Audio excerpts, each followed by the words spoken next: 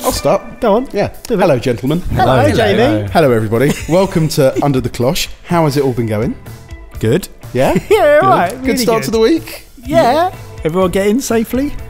Why? Uh, That sounds loaded. Just because I nearly didn't make it this morning. oh, Oh. that's like a normal morning, For, for, isn't for I'm going to phrase this correctly for possible child abuse it? Sorry, you Wow. said Silence. Okay, you you, you you you were careful with your words on the train. I've had another train incident. Lad. Okay. You're not in your best form when you commute. no, I'm definitely not. Uh, my train line goes through Gatwick Airport. Um, family get on um, who have clearly just come back from their holidays because they're absolutely knackered and they got all their wheelies with them. Um, so it's an absolute packed train. I managed to get a seat. So I'm sat there and there's this, I don't know, maybe like a eight, nine year old boy who starts by sitting on the edge of the seat. I'm against the window. Anyway, as the journey goes on, I start to feel him leaning up against me. And I'm like, okay, fine.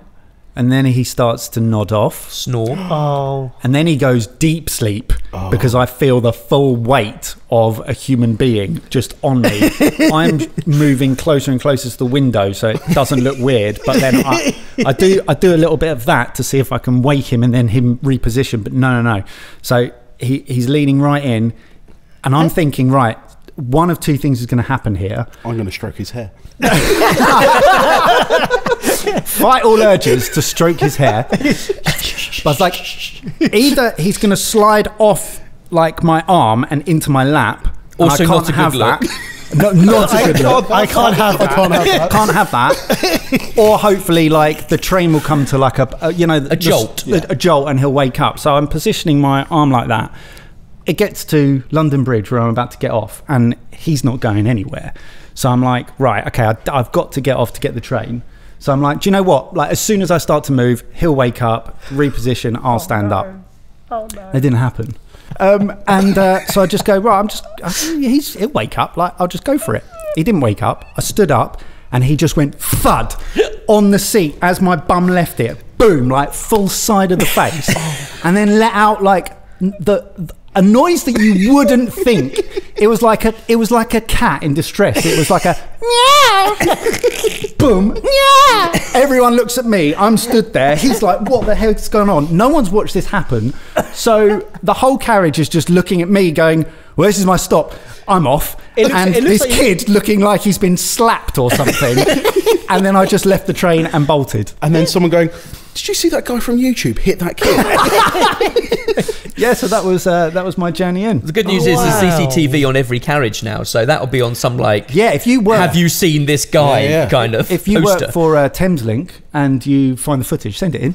We'll, uh, we can overlay it on the top of my storytelling. we can blur the faces. Yeah, Not yours. not mine. Not yours. See it, say it. Sorted. I saw the best conspiracy theory the other day about that. Uh, it was someone on Reddit uh, said uh, was asking why have we stopped saying sorted at the end of when we put down uh, a recipe, and somebody put uh, they stopped doing it because uh, British Rail started doing um, "see it, say it, sorted" as their slogan. Which is basically a counter-terrorism Correct. yeah, measure Yeah. that they put in place. And they're like, and um, somebody from Sorted confirmed that it was true. And I was like, who did that? Because that is the best conspiracy theory I've Wow. ever I think heard. that is probably the type of thing that we said in tongue-in-cheek. yeah, right? we must have Which done. is like, oh, look at everyone getting on board with the word sorted. Yeah. Done that. Sorted. I think Sorted. we run a fine line though of all the stuff we put on social of how firmly our tongues are in our cheeks and whether people truly get the sarcasm. Sarcasm is a very British thing. It It, is. doesn't always hmm. transfer and it always doesn't translate in on social. without a winky eye, like Yeah, a winky exactly face. on in text. It's like when you get a message from someone and you're like, I don't know whether they're joking or not. They're my sit and you favourite text to Yeah. send. Yeah, of course they are. My favourite text. Ambiguous text. My favourite text to send is the emoji thumbs up because it it's so passive aggressive. If anyone says anything, you're just like, have one of those. That's also the ultimate dad move. Oh no. It is a proper dad move, just thumbs up. Speaking of Ultimate passive dads. aggressive ultimate dad. Oh, I see. Oh, what a segue! Right, is anyone else really nervous about today's episode? I'm I'm excited. I'm excited, equally excited as I am nervous, because today, today's guest is somebody that, again, we've known for a very long time. Um, we I'm going to put a date on it. 19 years. and I, yeah, mine's just, uh, 19 years, the day I met him as well, probably. Um, and the stories that this man tells are things that you can't repeat. It's one of the biggest pros and biggest cons of having him. Is that whenever him. you pick up a camera, Possessive. you never know what's going to happen. but it's all great content. Yeah. He's a diamond. It's our most suggested guest so far on this podcast. This is our chat with Chef Kush. He's also just had a baby, so he's going to be very tired and very unhinged. Hello, Kush. Hello, Hi, mate. boys. Does this feel weird? Slightly, Yeah? yeah. Because Well- there are people over there that I can't see, but I know they're listening. I don't think we've ever had like a formal sit-down chat. This is casual. It's the pub. It's the Bell's End. Well, We've you- got pork scratchings. You remember the the job interview, so Yeah, I was think formal. you called me a molester. Yeah, and I learnt what colour your genitalia is. So- Welcome. you got the job. You're on board. so, what we do with everyone, we ask them about your ultimate foodgasm. So, that is a place, a piece of food, or a dish that you're eating. Um, who are you with? What's the scenario? What is going to deliver that ultimate moment when it comes to food? I think for me it's going to be in the future. Okay. It'll be next spring. Oh, that's quite specific. Okay. It's so going to a year from now. a year from now, ish. The first occasion that I can whack the pizza oven and barbecue out, and get my daughter to eat my cooking outside in the sun with my wife and some wine at home That's lovely. I like with that. no one else there. So, so what? Talk specifically about the food. The though. food, uh, sourdough pizza, Yeah. cooked in my Ooni Pro 16 on my patio. Some slow cooked smoked lamb shoulder style tacos in the Big Weber. Because this is brand heavy, isn't it? Someone's looking for a sponsorship. Yeah. He's seen James Currie's Instagram. I just I just need more coal and wood. um, I'd walk across to the pub that's across from my house and go get a pint for myself. Currently, I'm on Rebellion Black. What's that? It looks like Guinness, but it's 5.2 percent. Okay. no- this so- is spoken like a true new dad. Yeah. Yep. Uh, so yeah, we've got a pub on our estate uh, that is run by the community. Uh, so the pints are four pounds. There's happy hour. There's a disco. There's darts. I do big barbecues now and again. So This sounds perfect. This literally almost walk sounds across like. there, bring drinks home. Could sounds- we buy that community pub? Because that feels like the kind of thing. That, Could we just record a podcast in it? Yeah. Literally, you could record a podcast. You could do a live there. It sounds like the Bell's End, but better. Yeah. It's Without called the bells. Pavilion The pavi- ah, because oh, it's on the cricket pitch next to the tennis courts. wow. That's less food pun based though. So Yeah. we need to work on that. We've that. got an orchard though, so if we time it right, we can go Cider. scrumping and foraging. Yeah. And I've got a kitchen garden. Well, seeing as we're in our pub here, Right. uh, I'd like to move us straight on to what you are drinking because that looks interesting. You've brought your own I've brought my own. BYOB. Yeah, so um, it's been a long three weeks. Um, no, it's Berocca and Red Bull mixed together. That is your coping mechanism. Yeah. I'm so on that. I'm uh, so on coffee's that. just not hitting the spot.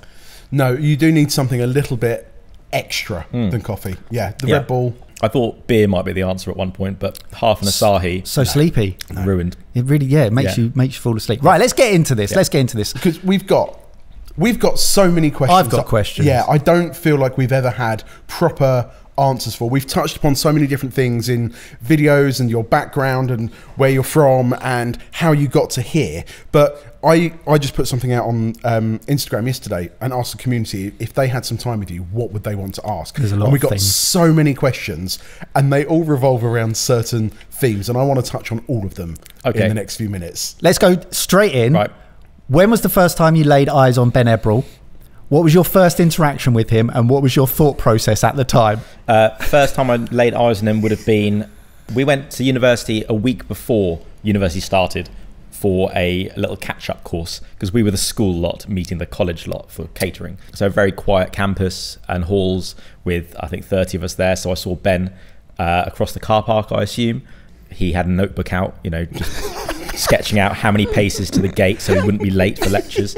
Um, I was setting up my speakers that were too big for my room and my big office chair because I, you know, I like loud music. Uh, so we went to Birmingham College of Food, Tourism and Creative Studies. Okay. As part of that, there was also health and beauty and uh, hairdressing So neither of you took advice from that part of the No, school. Right. no. but Ben, being thrifty, as I, as am I, he went to the community style uh, teaching hairdressers and had What, a, for a haircut? uh, for like a four Okay. like a four pound haircut. Four pound haircut. Okay. And, he still goes back clearly. Yeah. Yeah, and he turned up for it might have been the first week of full lectures then with eight different grades on one side of his head,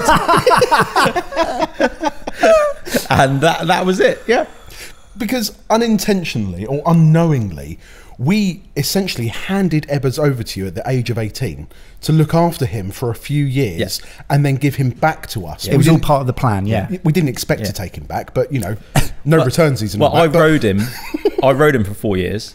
You what? So we worked together on all our coursework. I Okay. rode on his back. Oh, okay. Yeah. Yeah, Cool. yeah, Makes sense. He'd Yeah. start the plan, write everything down, delegate out.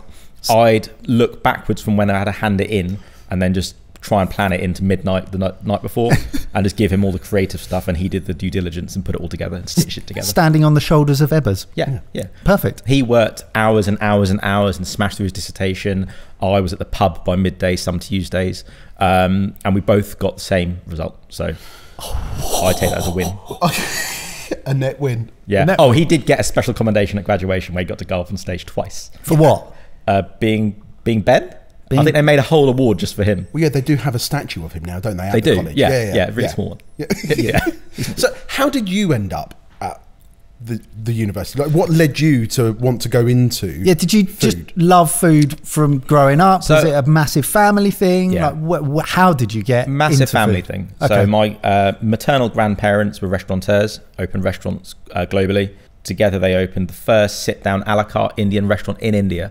Oh, So, wow. as in like Okay. a formal dining Wow. space. Uh, that is still to this day in Connaught Place in Delhi.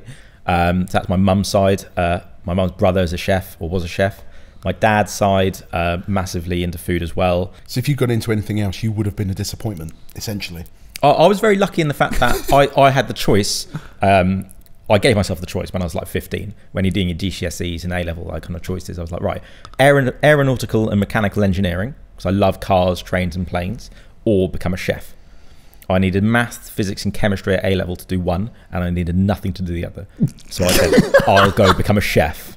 Yeah. Yeah. So I used to get home from school when I was 15. Right. My mum would have uh, texted me in the daytime saying, What do you want for dinner? She'd go out, buy it, all the food, pick me up, take me home, and I'd cook myself a steak with a creamy mushroom sauce. Never having cooked a steak or creamy mushroom sauce before. And thinking back, it was a frying pan with a massive ribeye in it, Jamie.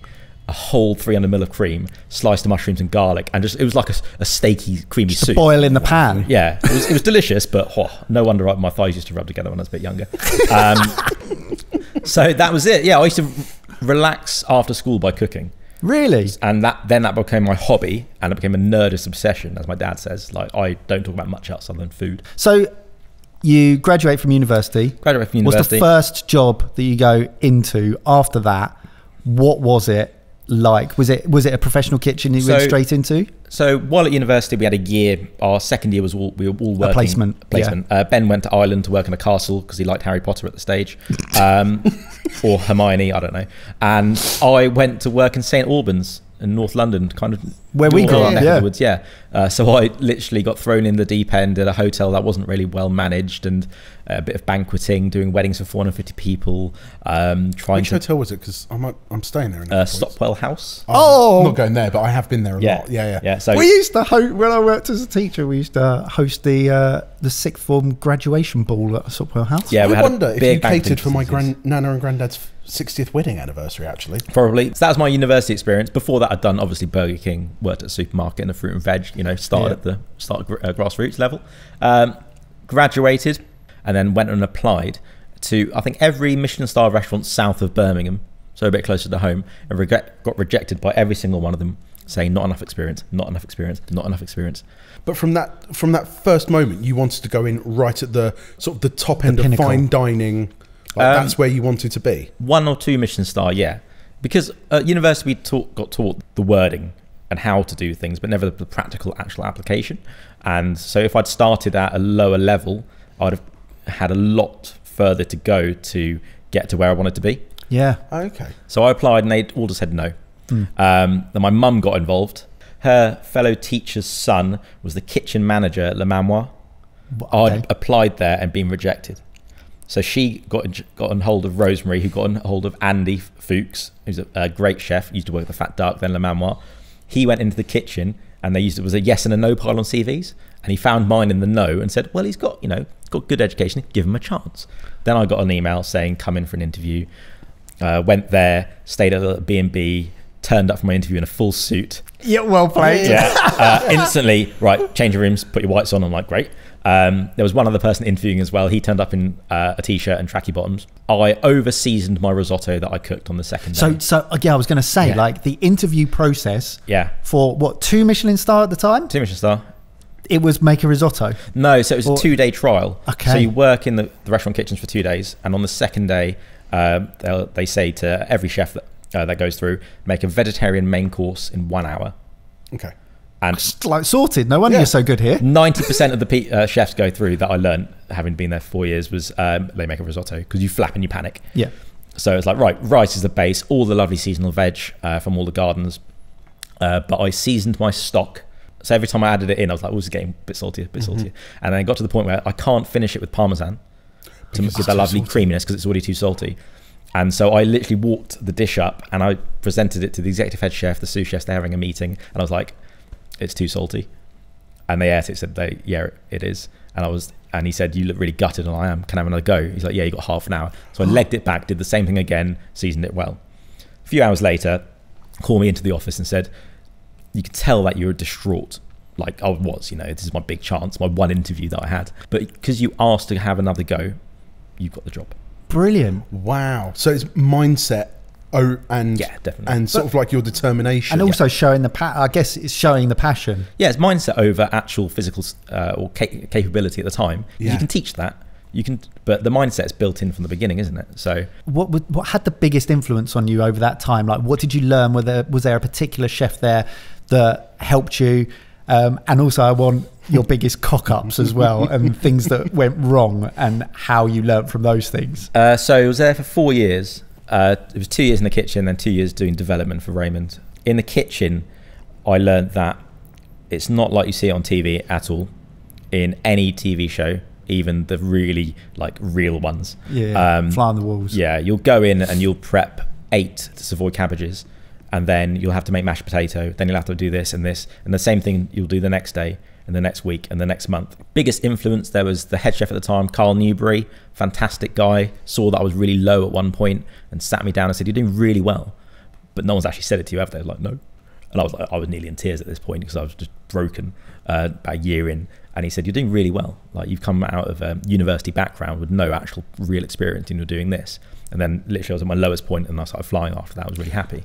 Can we talk about that for a second? Yeah. What was it that was getting you down? Because I, I, I've heard, and I know um, Slater talked about it Mm. quite a bit as well when he was working in um, sort of professional kitchens and things. It was like, just from a mental health aspect, there wasn't much support. Mm. You're kind of f- feeling like you're on your own. Like, what was it that got you down? So it's a, it's a combination of there's no feedback loop when you do something well in those environments. You're expected just to do it.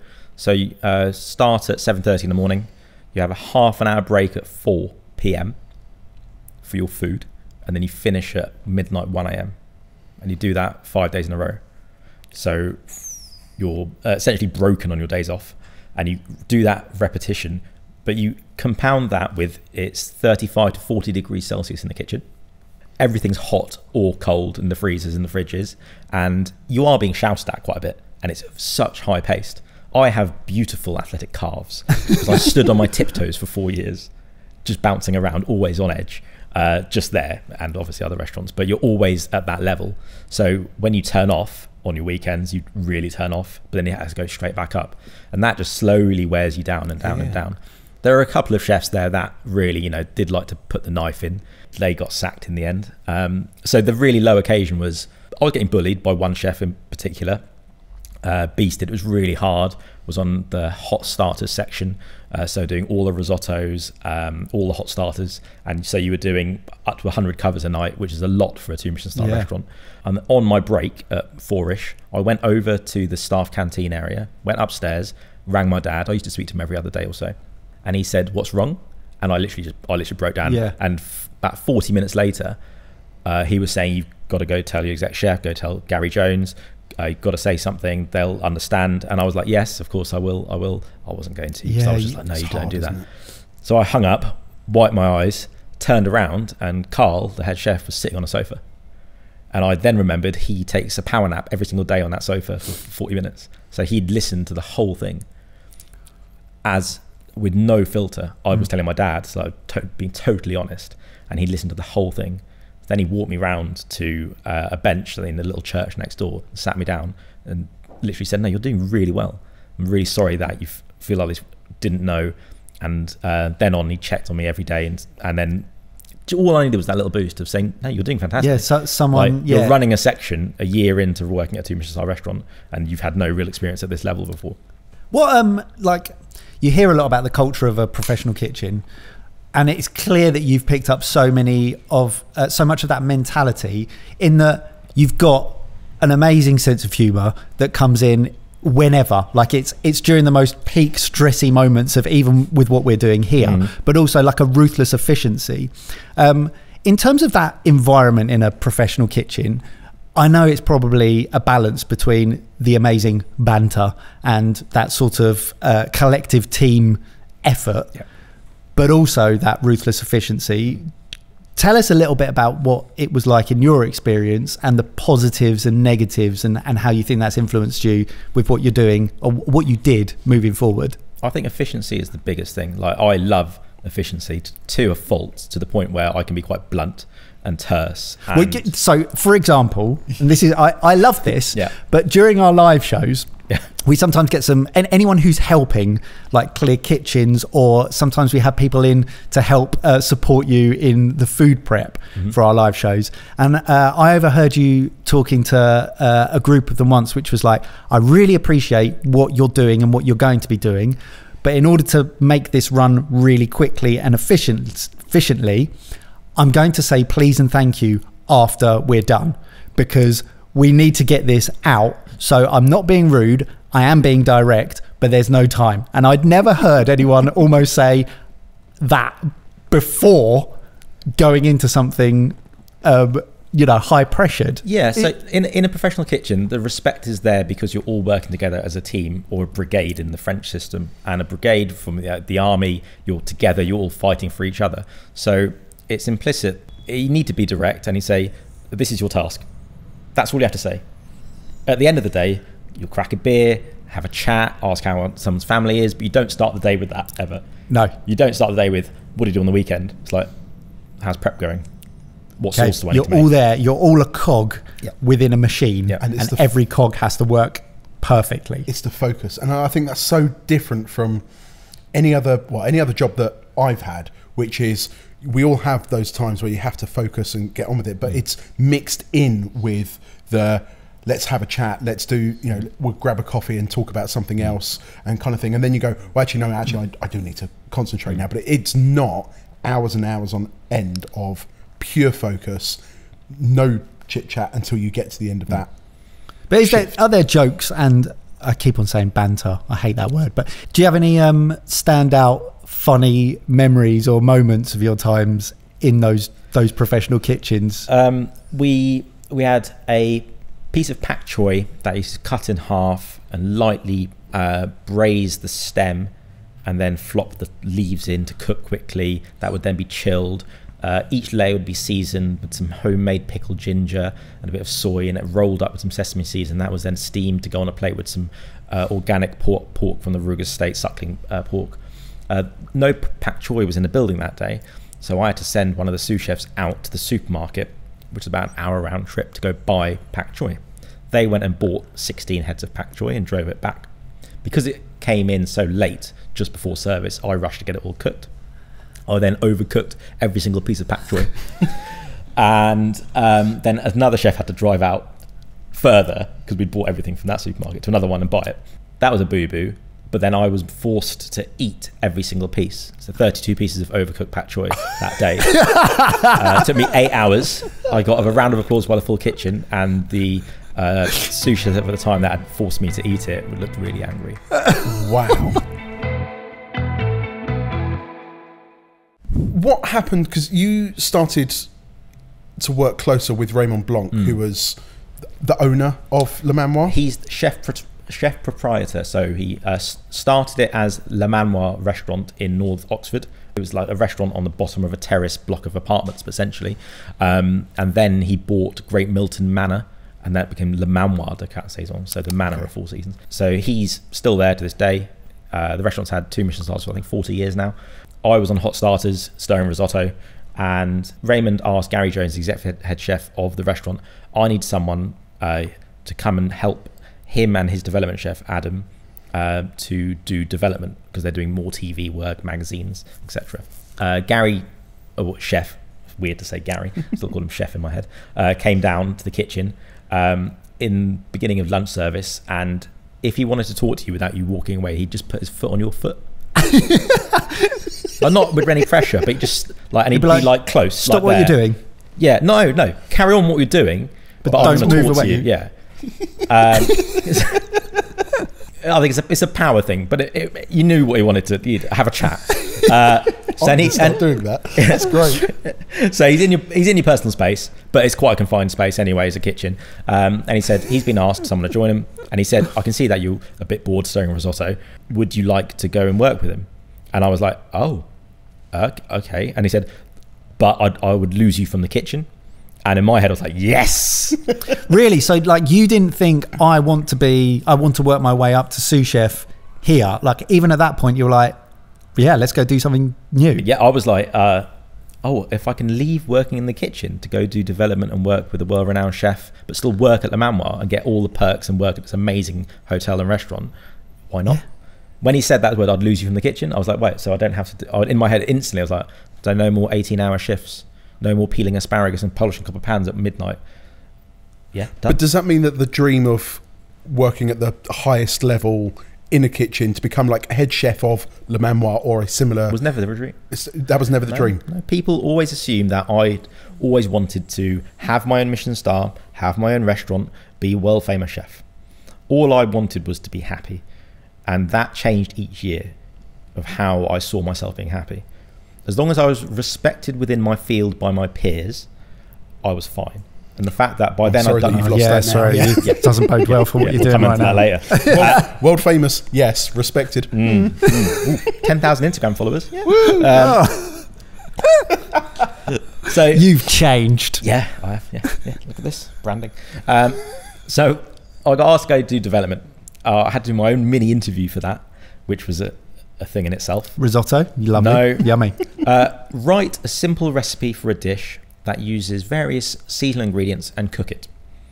I'd specialised in doing some Moroccan food at university, so I thought, oh, I'll do a Moroccan style roasted rack of lamb on a spiced couscous, that kind of thing. Um, it had 26 ingredients in it because herbs and spices all count. Mm.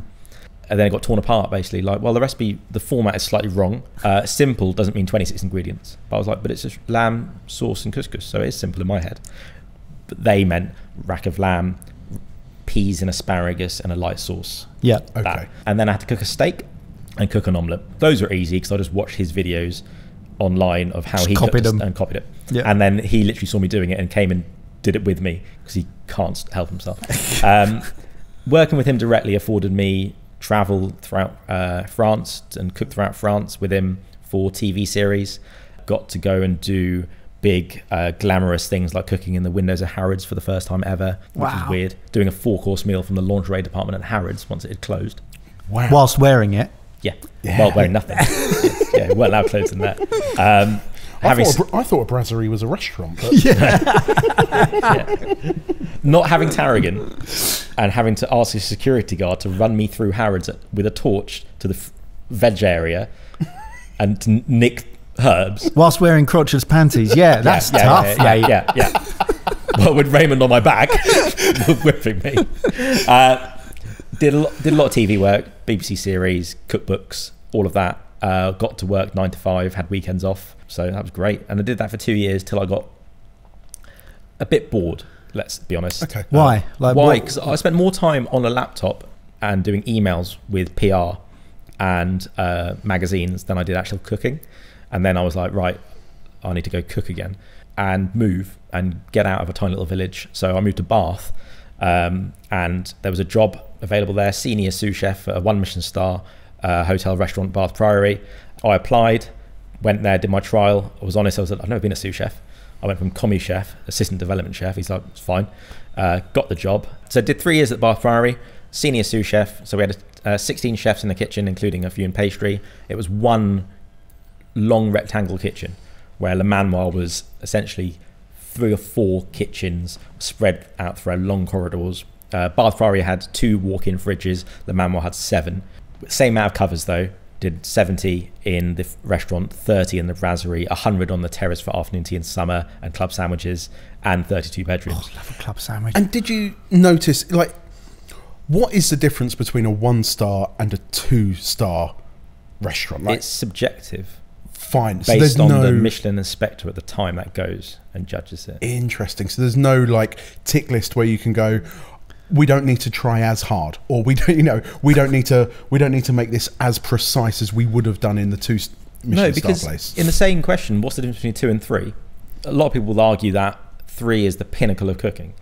Uh, Le Mans was at two for 40 years, but having eaten at three Michelin star restaurants throughout the UK and France and abroad, Le Mans was still the best food I've ever eaten, seen, or cooked, and I knew the processes that going into it. So all the chefs that have worked at Le Manoir and the industry in the UK still doesn't know why it hasn't had three stars. okay. But it's some people say Raymond was self-trained, self-taught, never you know went through under any other famous chefs, and Michelin don't like that. Is it mm-hmm. politics? Maybe. So I don't think there's much of a difference in the food. It can depend on the day. It can depend on your taste individually, uh, the season. Some places do far better in summer because they've got a bountiful, uh, you know, ingredients on their doorstep. But it was a more relaxed kitchen with better management because I was in charge. Please and thank yous at the end of service. um, so I worked under Sam Moody, executive head chef there, who I'd say was a real chef chef, a fantastic cook. Um, would take just simple ingredients and turn them into really simple dishes, but elevated with little touches of genius. And he'd cook day in day out. Did you Uh, learn a lot from him then? Yeah, learn lots on the man management side of it. Yeah, I had to do the invoicing, really dull bit on a Sunday because he had Sundays off. Um, I got to play around with the lunch menu every day. Uh, he did the a la carte and tasting menus, and we worked together a bit on that. Uh, whole animal butchery that I'd learned at the man one we did there. So we get in whole pigs, whole lambs, half sides of Dexter cows. Dexter being the really small cow, but it's still quite big. So we Not- had to utilize the full animal. So all the cheaper cuts like the bellies and the shoulders would go on the lunch menu, braise down the hocks and turn them into little canapes and bonbons. All the uh, finer cuts would go on the a la carte menu. So it was a lot of balancing costs as well. Whereas Le Manoir, pretty static, very expensive. We knew what the food cost was because it was posted on the wall every day, uh, but you couldn't do much to really affect it. Whereas uh, creating a lunch menu that changed every week, I was like, right, we can utilize this, utilize this, utilize this, cut out all those processes um, because we don't need them. So would you say like that's that's where you you there was tangible evidence for your skill set being broadened in that role? I think definitely, yeah. Yeah. It was uh, when I turned up. There were eight lever arch ring binder files of recipes that had been inherited from another two Michelin star restaurant. That uh, essentially the chef from there, Michael Caines, had opened the Bath Priory and wanted its star, put Sam in its uh, in as head chef. And looking at the recipes from Gidleigh Park, the two Michelin star restaurant, they were involved. Like there was a, a laminated A4 page with the recipe for lemon juice. What's the- what was on it? What's the recipe for lemon Squeeze juice? lemon sieve, Okay. refrigerate. Right. Yeah. Okay. Wow. Yeah, but if that wasn't written, then the f- follow-on recipes that needed lemon juice wouldn't have worked. That was the thinking about. Oh my goodness, it's le repertoire de la cuisine, Yeah, is, isn't it? Like, exactly, all over yeah. again. So we got rid. We shrunk eight lever arch filers down to like one ring binder that had the core things like the sauces that are quite like this really good recipe for that. Um, where otherwise we just got rid of them. Like, oh, I need to make an asparagus soup. The chef would like, I've got a recipe. No, if you can't make an asparagus soup, you really shouldn't be working here. if you can't make it, let us check it every five minutes. And that we taught them that way. So a lot of more of my teaching came into it then, like educating the younger generation. I was still relatively young. How old were you th- at this point? Uh, graduated when I was 22. Four years later, I was 26. So I was 26 to 29. Wow. That got me into wine drinking there as well. There was a great wine shop called the Tasting Room in Bath that sadly closed now. Went in there in my first week. Just come from Waitrose, my bag of shopping. Walked in and said, "I've got ten pounds. I want a bottle of red that I can open now and drink while I cook." Will, the owner, said, We've met him, haven't we? We've been to the tasting rooms You have, off yeah. of uh, your uh, think so, recommendation. He Yeah. pulled a bottle of wine off the shelf, seven pounds, Aussie red. Said, there you go. I said, oh, I can spend a bit more. He said, no, drink that. If you like it, come back. We'll go up.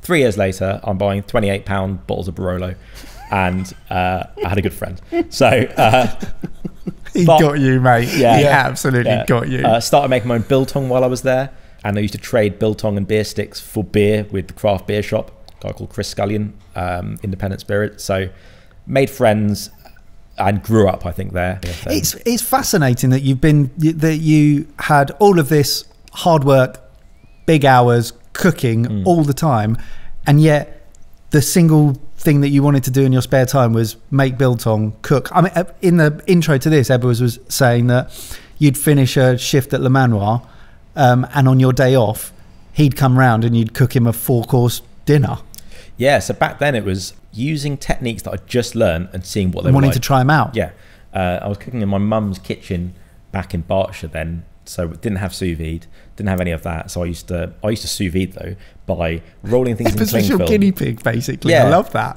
I used, to, I used to do mad things like I'd flatten out a full pork fillet and then line it with chorizo and herbs, then roll it back up like a pinwheel, then roll that in cling film. I'd set the oven at like 100 degrees Celsius, a gas oven, and put a big cast iron Le Creuset pan of water in there, and I had a probe. So I'd get that water to the right temperature, and then hold. That's the how you were CV. and then put the, the pork in, and then be, leave it for four hours.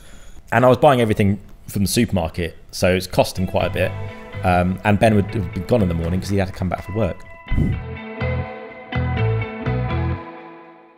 How did you end up on a private yacht of a billionaire during COVID? So I I mean, that's a question enough. I've done my it? research. Yeah. So uh, after Bath, I was big on Twitter while I was in Bath, and I had like two and a half thousand followers because I'd re- I'd written on the back of Raymond. Nice. Right. he used to be on Twitter. So I'd tweeted a dish of a Sunday lunch special to my boss then, Sam.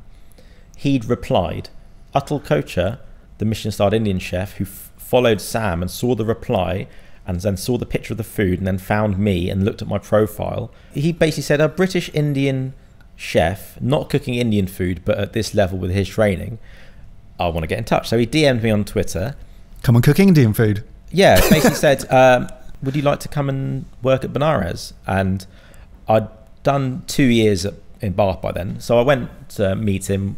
Mayfair, Berkeley Square, totally different ball game from sleepy Oxford and Bath. Had an interview with him. He said, "I'd like to become executive sous chef here." I was like, "Ooh, executive," uh, and help uh, modernise the menu a bit. Beast of a restaurant, turntables, 300 covers, Michelin star. Um, totally different cuisine. Never cooked Indian food before by the by then. And the clientele completely different, I imagine, as well. Oh. Because I used to work in Barclays. I used to work above Benares.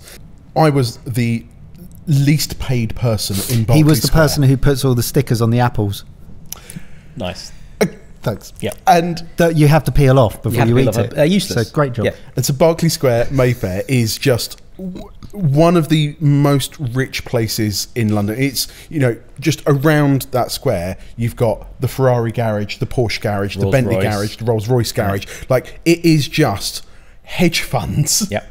uh, private banking, um, wealth management, and the people going into the restaurants are just moneyed up to the eyeballs. Okay. Yeah. Money up to the eyeballs, and then the lunch trade was uh, tourists who were coming off Oxford Street for Michelin star Indian food, which you can only get in the UK at, at that stage. So he said, "Come for dinner that night." So rang my uh, friend up, who's also a chef, and said, "Do you want to go for dinner?" I was going to meet up with him anyway. We'll go for dinner at Benares. Rocked up, uh, had seven courses, and by the second course, which was a tandoori skewer, I said I have to work it because I need to learn how they make that. Wow.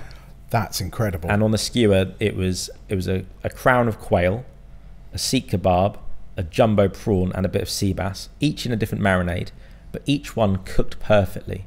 So the sea bass had crispy skin somehow. So it wasn't all just done on a skew- uh, on a single skewer. it was all done on a single skewer at the same time in a tandoor. What? But we know from our experience that you can't do that and cook all those things If perfectly. there's any people together. that know about Indian Michelin star, it's the two people sitting across Yeah. from Yeah, you right now. yeah. yeah, that That to me sounds incredibly difficult.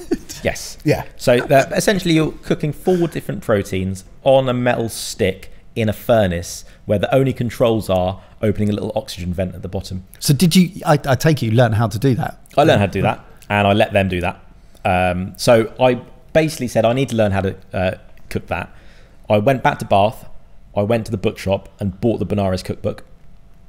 And I said, right, if this works, this Benares cookbook works, and uh, it's not all fake, if that makes sense, I made a slow cooked Rogan Josh whole lamb shoulder, following the recipes exactly, and it was sensational Wow. like two perfectly spiced and perfectly seasoned, and I followed it to the letter. I was like, well, that works. The food was fantastic. It's on Berkeley Square. Yes. So I for it, gave eight months' notice, I think. Um, Wow. Because I wanted to finish the year, Okay. Yeah, and I wasn't in that much rush because it would have meant uh, moving out of one lease, finding rental. It was a big thing. I'm not going to rush into it. getting rid of all the wine bottles. That Yeah. yeah, yeah, yeah, yeah. Selling the car. Yeah. That was that was painful. And Uh, your role were you man? You were managing specific stations or l- the so kitchen? executive sous chef. So there was executive head chef, executive sous chef, then there was a head chef, and then a sous chef. So I was second in command, looking after purchasing, menu development, um, and cooking as well. So, so I, you actually on the pass in the kitchen during the services Yeah, as well. What yeah. were you doing? so I was tasting uh, stuff, going, "This is crap. Send it back." Uh, so the first few months was uh, dealt uh, was spent battling the chefs who were already there, setting their ways. So most most the average You age in the ki- upstart average- bowls in. Yeah, the average uh, upstart coconut rocks up. Explain. Coconut, I've never, I've never heard that phrase before. uh, brown and hair on the outside, but white on the inside. Never heard that. Have you not heard that before? No. No? Okay. Uh, you know, gr- went to Catholic and Quaker school, grew up in Berkshire, no Indian friends at all, uh, no Indian university colleagues. Have never cooked Indian, Indian food, food can't speak. Hindi or Punjabi, Right. rocking up and saying, no, you can't do that. To Wow. a 40 year old chef that had worked at Oberoi and Taj in India and been flown over just to do the tandoori food there. Um, How so did that go down? It took a while. Yeah. Then they realised I'm just trying to make things a bit more efficient and health and hygiene and the really boring bits, and then banter, and then say give them an hour extra hour off at lunch because I'm like you don't have to do all of that. You're so generous, good. yeah, extra hour. Uh, Cook it better. cook it safer. So got to run, help run the kitchen there, and work with Atul on again development, help him manage his restaurants in India, and we had another Benares in Madrid, which was fun because I get to go to Madrid and help do their menu there and eat tapas and drink wine. We get him to judge our food. I know. Can you believe I- what, how stupid is that? he has to eat and pass comment on our food. I don't do it that often, though, do I? I know, but what like You do it, even if you're not doing it for video, though. You do it silently. it goes back judge- round Yeah. the corner and you're like, No, I don't know. So I No, watch I how you make it. I'm not going to taste that. Um, did that for two years. It was short because London's a very fast-paced city. We used to the rota would come out on a Friday night for the next week. I was lonely. I was dating. Uh, I met Amisha, my now wife and mother of my child, and I literally thought I can't build a relationship with this person if I don't have a routine. I can't text them on a Friday saying, "You want to go on a date on Tuesday and Wednesday?" um, yeah, so- all, you've got all of that, the the tiredness, and you're battling against your actual personality. yes. So that, I mean, What? dating must be really. there are so many obstacles. I was a lot slimmer and athletic then. I had that going for me. Yeah, which nice. My wife now reminds me of quite a lot. Um, This is not what I bought. no, not what I signed up to. So I, I looked again for a job where I could do uh, just weekends off, so I can um, get to know her. And private chefing had always been something I was looking at. So uh, job uh, spec came up online on my break. I was sitting in the office. I think it was at Atul's desk on his computer, just clicking refresh. Working hard. Yeah, yeah. I was on my break. Yeah. Oh, okay, fine. I was yeah, on my break. Yeah, yeah. Uh, job spec popped up for private chef needed for um, a business and upper higher net worth individual. That's what they're called. That could mean you know various things. Yeah. To work in Mayfair Monday to Friday, holiday allowance, decent salary, blah blah blah. Must be able to cook Indian food. I was like, Hello. hello. I emailed back, went and met the sales director for the company, who explained a bit more, saying it's a Indian billionaire. They've just set up their private offices in the company, property developer, on Mayfair in Mayfair, uh, looking for someone to cook him lunch. Probably owned your building you were Probably working in. did, yes. Uh, also has a mega yacht, a 70 meter mega yacht. So you might have to go do that cooking there sometimes. That sounds awful. Uh, can you cook in if you don't like? Yeah, I've been working at Benares two years. Fine. Job interview. Um, the yacht's currently in the Med. Can you get out there? And I was like, I can't at shut short notice. What, on what? On a, a dinghy? To fly down to Nice for them to send a tender in to take me on board to do my job interview on the yacht. I was like, I can't do that this week because literally I We can't. took him to the pub Because the the, rota. we Yeah. took him to the pub round the corner. I know. We went to the dog and truck, didn't we? didn't manage to get that interview. So two weeks later, I flew to Mumbai for four days. Landed, had to go cook breakfast and then do a, a party for him at his house, which I then late, later found out it was his wife's 30, 30th birthday party. Um, so did a seven course Oh, menu there, did breakfast. Was he the same age? He was the youngest Indian billionaire ever. He had a billion Oh. at 30. And then got the job, left Benares, and then a week later I was on the yacht cooking in, I think I, we were at Ibiza. And pressure wise, how did it compare to Oh, good being in the kitchens? So in the kitchen, it's very structured. You're, you've a large team around you that you're managing, and your focus is the next three months, let's say. The day to day should take care of itself in the kitchen. If it's not, there's something wrong. As a private chef, the day to day is you turn up for work, they will eat at some stage, but you don't know when. So you have to be ready. They might not want to eat what you've already prepared for them. That's printed on the menu, so you have to be ready. They might not eat at all, but they would have read the menu, so they will, they won't want it the next day because they'll think it's old. So you've got to start from scratch every day. This is such a different mindset. Can you imagine being in the position where you've hired a private chef because they are an expert at what they do, and they come to you and say, "I've cooked you this." Can you imagine being in the position of going, "No, I don't fancy it. no, don't fancy that today." It's, it's even worse than that, isn't it? It's like you have to be their thought process of, do you know what I fancy? A sandwich. Can I have a sandwich, please? I, I would I'd have liked that. So the rules were, I say rules, the dietary restrictions: vegetarian, no eggs, uh, no sugar, allergic to citrus, no butternut squash, carrots, pumpkin, orange vegetables for some reason. I think the sweetness he didn't like. vegetarian, but not really with any veg, please. Yeah, no, hate, hated mushrooms. Um, didn't like artichokes. Loved olives. Uh, hyper athletic, his whole family, so had to be balanced. And didn't like the same ingredients repeated within a week. And wanted a four course meal of a different cuisine every day.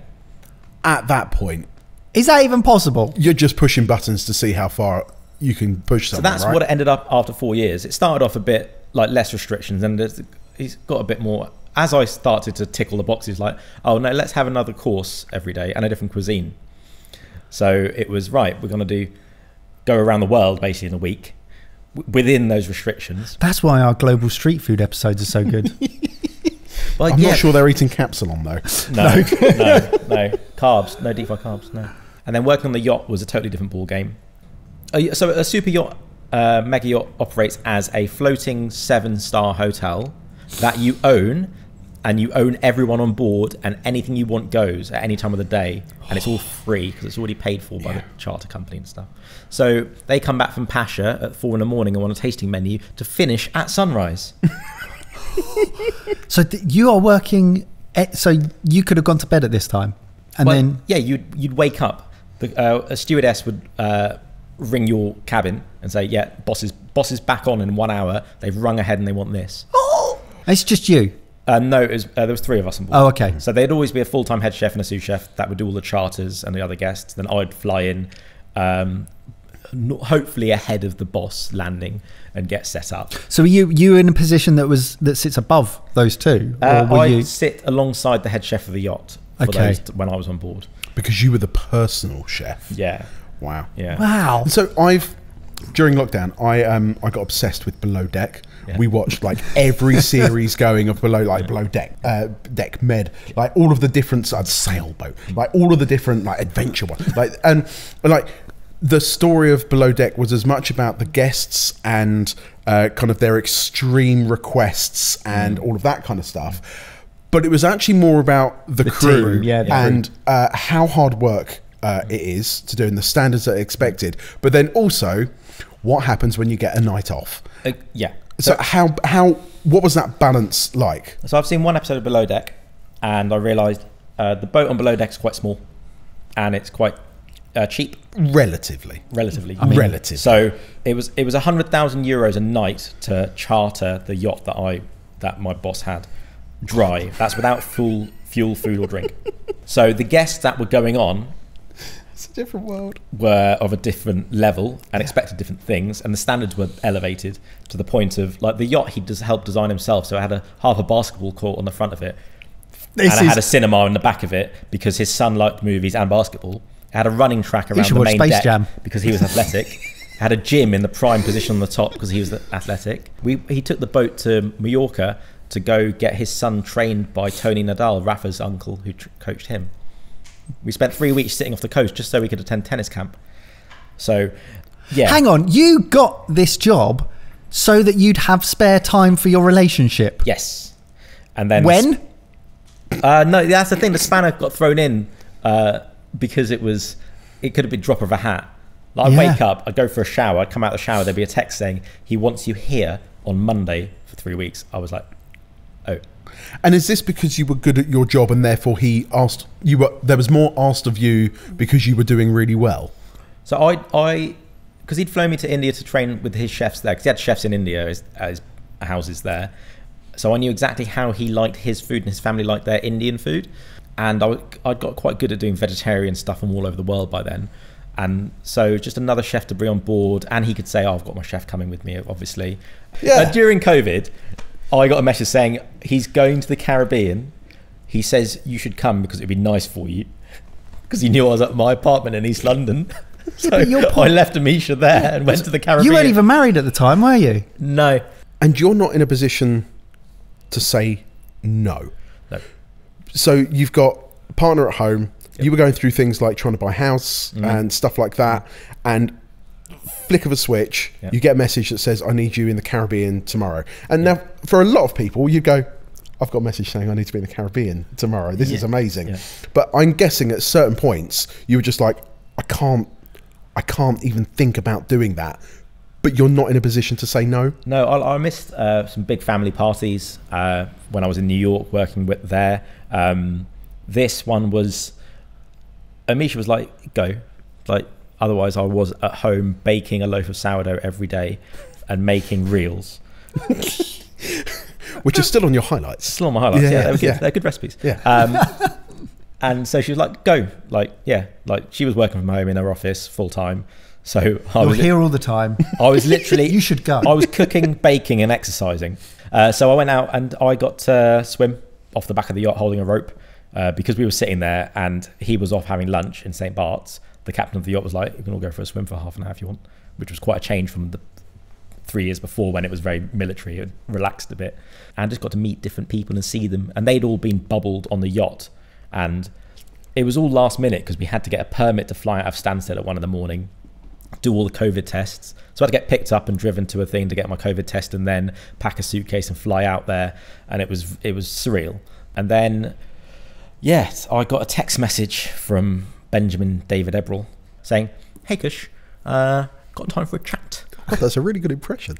So I got home that day and I walked into the house that um, me and Amisha had bought after having to cancel our wedding twice. We just bought a house instead of moved out of London. And I said, Oh, Ben wants a chat. And she's like, It's a job. I was like, All right. Uh, so I uh, went upstairs, called him, and he was like, You know, James? I was like, Ah, We've had a massive argument. He stormed out of the studio, What do and we I don't we don't think he's coming back. uh, he was like, you know, James. I'm like, yeah. Uh, having never, I might, I think I might have met him once at university, but it was the year below, and he was out for a year working while we were at university. Um, I'd never watched a sorted video up until that stage, if I'm honest. Cheers, mate. Wow. Nice. Why Thanks would for I the need support. to?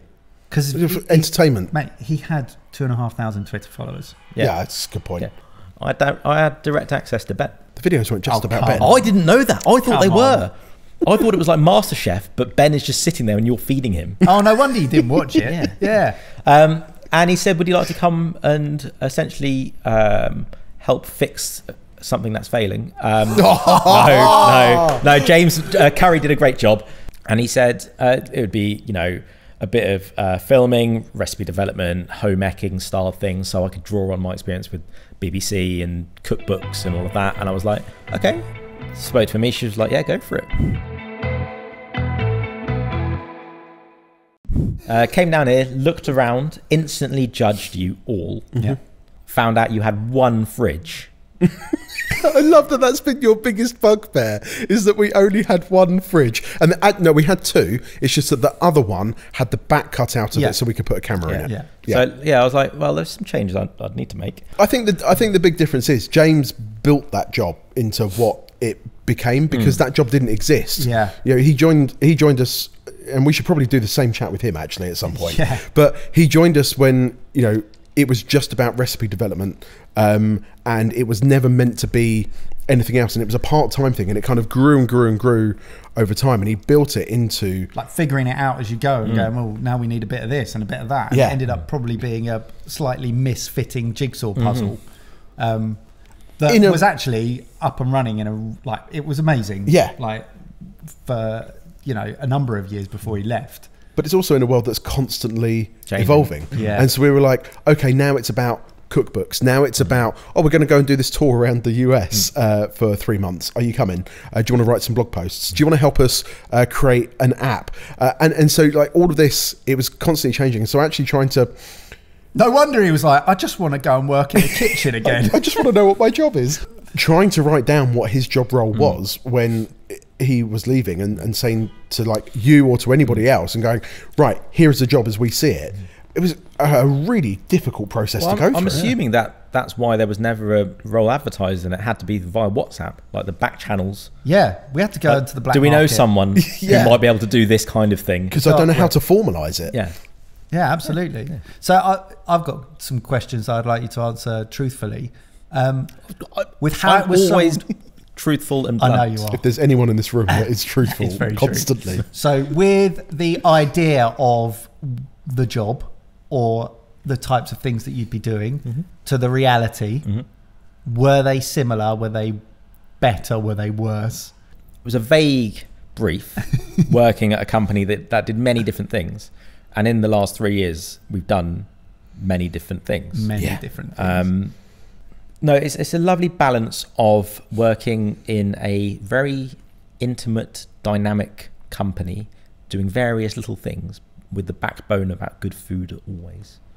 And uh, I think the freedom to create and make light of situations and sometimes turn around and say, This is a job? Poker face? Paid to do this? Um, do you like relish those moments? So when we like when the the idea for a poker face comes up, and you've got like right, we need six dishes that are going to take us in completely different uh, places and need extreme cause reactions. different reactions, bodily functions, and everything else. Like, how much do you enjoy those moments? I, I think the first poker face I did, we had extreme bitter. We had Bitrex on it. you introduced and us to the world of Bitrex. I remember making a quite elaborate cheesecake with a clarified And a honey- rhubarb honeycomb. jelly, mm-hmm. burnt honeycomb on the side of it. Remember and it then well. over the years, the dishes have started to go right. Well, we we want to get the reaction whatever they do, so it can just be a piece of toast with citric acid on it, right? yeah. Reaction. So I've brought, But it's all in the pun. It's all in the pun. It's all in the pun. I, I think I've brought a bit of efficiency into that side of it. Yeah. If the, if the end result's the same, Fit for purpose. fit for purpose. Yeah. What are the what are the moments you enjoy most? Getting home. Uh, no. um, most enjoyable bit of it. I really like the lives. Yeah. Yeah. Yeah, because it's a bit like when you used to be at school and all go away on a big class trip for a week. You know, no parents, uh, get to drink a lot, um, get to cook for a large amount of people. It can be as creative and wacky, and there's no bad ideas, really. Um, you go into your own world actually on it. those on those live like the big weekends that we do like you go into a completely different place when it comes to the organization um, the cooking for the whole team and there's like what Yeah, 20 30 schedule. people? Mm. Food schedule plus you've got the food that's required for filming mm. that we're doing for the lives and then on top of that doing the on camera stuff mm. plus every now and ge- again you and I just take our tops off and stand in the background of stuff that's being filmed as well like because I think the the big weekend things that we do and actually it comes down to the travel stuff that we do as well like there is months and months and months of planning and work that goes into making those happen. But actually at the end of the day we've got three four days on site and we all have a job to do mm. and we have to get it done mm. within that moment. And the way that the whole team and like the external teams that come in and help us on those projects the way that we all come together they're just my favorite things. It feels like one team doing something as well as we possibly can. And what i love about it is as well as we possibly can means dick around as much as we possibly can and make it as fun for everyone watching it and joining in online as it is for us and that yeah I, i've never experienced teamwork like that in like a, a, a work Yeah. work setting uh, before I, I love that so much It's even the micro briefs. Uh, when you guys finally got through the woods on that Friday at the um, the wintry, frosty ice one we did. It's no way out. Snow way out. That's it. Sorry, baby brain. Um, and it was like, right, have some hot food ready for us because we're gonna need it. Right, what kind of thing you want? Oh, I'll just put some pub sacks together. Ooh, a pork pie tower comes to mind. Yeah. Like a pyramid of pyramid of leaning Scotch pork eggs. pie tower. Yeah. Uh, there's no other job where you can just say like, that'll work. Yeah. i love that Yeah. The supermarkets have a hilarious time when they deliver some of those shopping baskets. It's like, you spent a thousand pounds on pub snacks and Scotch eggs. For who? oh, we're all up here. We're filming. filming what? Not quite sure yet. Can I can I watch? No. Tickets are sold out. So how, how long have you been doing this? That's sorted. Sorted. It'll be three years in May. Oh, we're getting very close to the Kush four-year itch. yeah we are aren't we Is that a thing? What? what you tell it- us yeah. From the sounds of it, four What? years. Four years. Move on. No, but a different place in my Please life don't. now. Thank goodness. Yeah. House. Have more babies. Never moving. Yeah. Baby. Get more settled, please. Um, more settled. What can I do? Oh, redo the patio. Plant, plant some, plant some things at home. Uh, put a fig, uh, put a plum tree in the ground for my baby. So she's got a little uh, plum tree that'll grow with her, so she can pick same plums age as her i love that yeah, It actually planted the day before because she came ten days early, so nearly perfect. Um, but in order to scratch the Kush itch, what do we need to be doing next in order for you to feel like Fulfilled. you're learning and trying new things and developing? mm, it's tricky. It is tricky, without like making myself sound like a pompous a hole. But I like I like pompous. like learning global street foods. yeah. I made something yesterday that we're filming next week because I had to make it in advance because I didn't know if it was physically possible. So I'd never heard of it. So it was a bit of research. I got to taste one, totally new. Wow, learning. Getting to play with new equipment and gadgets is quite fun. Yeah. Uh, I like teaching. Yeah. So I like educating you You're guys really as well. good. I like, good at like it. building efficiency into things, clawing time back for everyone, if that makes sense. Yeah. I'm a feeder at the end of the day as well. Yeah. So You're a very Um, good feeder. Did, Yeah. did you ever expect to be on camera yes, when you when you st- I was quite surprised it took so long,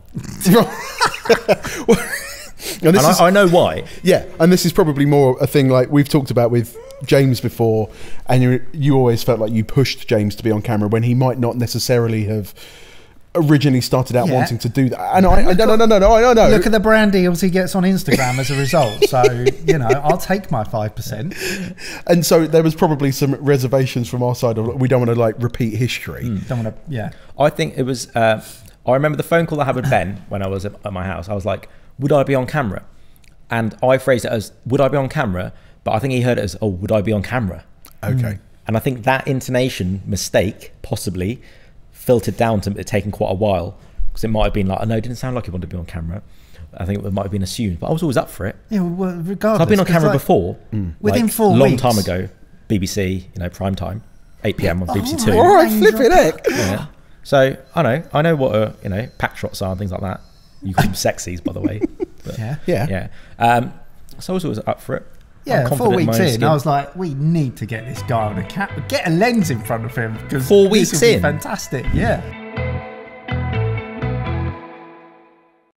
there are a lot of community questions that came in uh, focused on what we do now and things that have happened particularly over the last few months barry and the sous chef apron Yeah. right the biggest question that came through on instagram was people going Did he really deserve it? And if it was up to you, who would you have given it to? like this. I like this. So it's a hard thing to do because um, the title sous chef.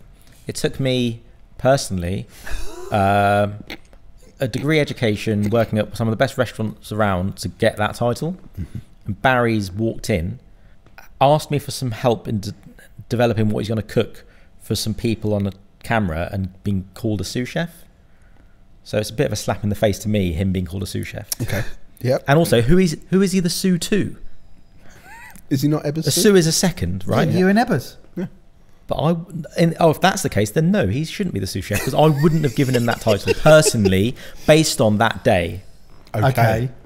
Go the on. best single dish that day was your fried chicken. I agree with that. Thanks. I 100% agree with that. Another question that was asked was Do you have any wholesome Ebbers stories or moments from university? They don't have to be wholesome. They could be absolutely horrible. There was a time in the Isle of Wight. um, wholesome. I've got a fun one where he told me off once. Go on. Uh, so, like I said, we did all our coursework together because we were both the top of our year, and I hadn't started my part of the project. And this was to get our like this was our final year. Um, we used to share a wall, as in our rooms were next to each other. Okay. Okay. Yeah, shared a wall, and he he had to call me in and like kind of uh, chastise, uh, not belittle at all. He's never like that, uh, but basically tell me to grow up Have a firm word. have a firm word and say, I expect this work done at the right time. Why do I have to chase you for it? And full well he knew that I, I was still very hungover. um, so then I went off and did my work and handed it in to him. Did he? And he scored it and put it into the presentation and we got an A plus, whatever. But no, he was very good at university. He brought together my, you know, mad ramblings and I, I was very good at PowerPoint, I must say. He was like dad of the group. One of the other things the community really wanted to know was people who are looking to start out a cooking career. Like, do you have any advice for them? Because you've worked in so many different areas of the restaurant mm. and the food and display world. so many characteristics in order to be successful as well. Mm. If you're already 30, 35, maybe don't try. Oh, that's good advice. What, like keep it as a hobby? Yeah, because it takes a lot of energy and just time. If you already have a life and let's say a family, you, it's going to be very hard to dedicate enough time to get to the level that you want to quickly. Let's say, um, if you're younger, uh, go to college and then get experience in an actual restaurant really, so what, learn really the early on theoretical foundation, then and cook at the same time. Yeah. So do your college lectures and things like that, and you're cooking, but also work because you might not like it once you see actually what it is like. I also think there's so many different ways that you could go mm. now, like with the social media kind of thing, like having that hobby and turning it into something that has a an output online. Mm. Yeah, if if you want to become a restaurant chef because you love eating at restaurants and you like MasterChef and those kind of shows online, get straight into a kitchen and learn what it's like at the bottom, and then just make a decision. Don't start. Don't spend money on courses or enroll in something to then find out a year later, oh, it's not pretty. Social media and those kind of things is a, for me a bit of a grey area because it's massive and a part, a large part of my life, like doom scrolling. But also we have a large following. But also that a food influencer versus a chef on Instagram are very different things. Mm-hmm. So if you like the food that someone's cooking, understand where their trainings come from and see if you need to get some training as well to match that, mm. or if it's if you've got a knack for being in front of the lens and you want to do that, then by all means. But if you want to become a work in restaurants, experience is the first thing because it's really hard to get into a kitchen without experience. So you find someone that'll let you let you in at the beginning. Nice. Right. Shag, marry, kill. The normals. That was a question. That was the question. Okay, I've married Jamie. come on. I mean, I'm not thinking about shagging. I'm thinking about No, but that's who the you easy killing one. out of me and Jay. That's me the and easy one because he's got a, uh, a smoker and a wood vibe and a pizza oven. So yeah, so you're I. marrying him. Yeah. Yeah, m- I'm worried that you're questioning whether you're going to kill me over Barry. That's what I'm Shag- concerned about here. Shag, is why I shag's a wanted to know one-time the thing. answer. Yeah, Killing's permanent. yeah. Yeah. I'd shag Mark and kill Barry. Great. I thought that's what you'd say. Yeah. Yeah. Yeah. I, there's no surprises in I'd that give you the time of your life. Well, now we've got that out of the way. You could do the ultimate question. Uh, the ultimate question: um, What one dish should everyone cook before they die?